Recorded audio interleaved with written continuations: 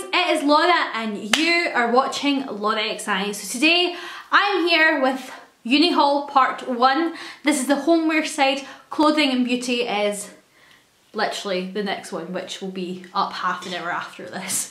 So let's start off with cutlery. So a lot of this, I'll tell you as I go where it's from and roughly how much it is.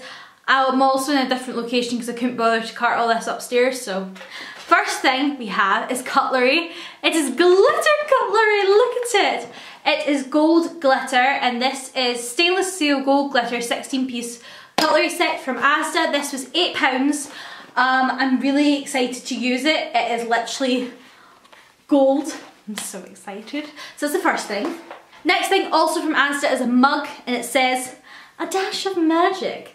Now, I love this mug just for the fact that it's kind of Harry Potter-esque without being Harry Potter merchandise. I love it. So, um, yeah, it's a humongous big mug for soup, hot chocolates, perfect. Next up, also from Asda, is this.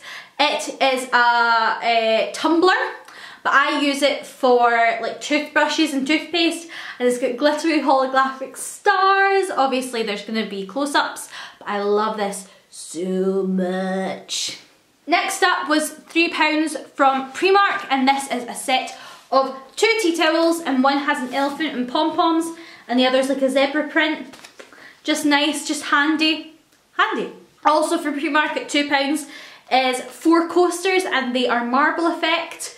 So I really like these, just handy to have if you've got a bottle of water or a glass or something. They're handy. Again, Primark, one of my favourite things I've got from Primark. It's 10 indoor LED lights, battery operated, because at our uni we can only have battery operated fairy lights. So yeah, these are beautiful. I love these. So can't exact, cannot wait to put these up in my room. Now onto some bedding. So the first set of bedding is from Primark. This was £10 I think. This is a single and it's this amazing dinosaur print and it has things on it like sarcasm, how about no, don't touch, it's just really cute. I just thought, and it's kind of pink and white, so I just thought that was quite cute. And the other bedding set, it's also from Amazon, it's also about a tenner. It's cats, but it's magic cats. Now, I'm not, I'm more of a dog person, but this is cats on broomsticks. This is basically McGonagall, so I was like all for this, and I love this, so Yay! Okay, first up in the sort of stationery range is this, and this is 50 photos from Lalalab. I'm going to insert a clip of them close up, but I love them because they've all got kind of different coloured Polaroids. This is just one of me with space buns. But um, no, I love them, so I'll give you a close up of that. Next up is my favourite thing, highlighters and pastel. These pastel highlighters were £4 and they were from Asda.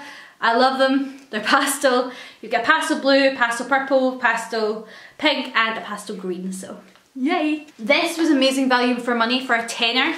You get 36 of the Statadeller. I don't know how to pronounce that. But I use these. These are my holy grails when it comes to studying to give you colour and to make it stand out.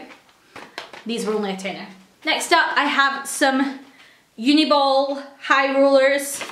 I prefer these kind of ones that are kind of like thin and I prefer these to ballpoint pens. I feel like they make your work more bold and stand out a bit more so I don't know how much they were, can't remember, don't care. I think this was £3 but this is an A5 notebook. I just like it's kind of leather bound but it's thingy. I don't know, I just like notebooks so that's that one. Um, other notebooks I did get, I got a campus notebook, which is 192 pages, looks like that.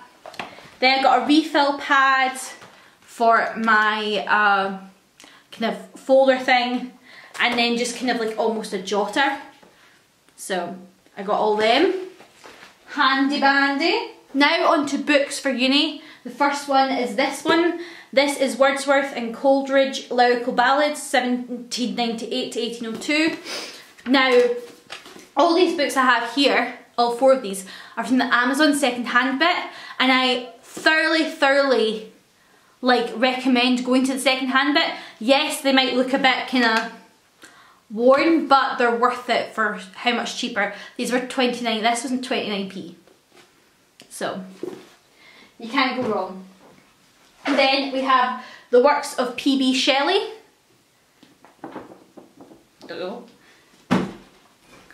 For my journalism class, they were for English journalism, interpreting news.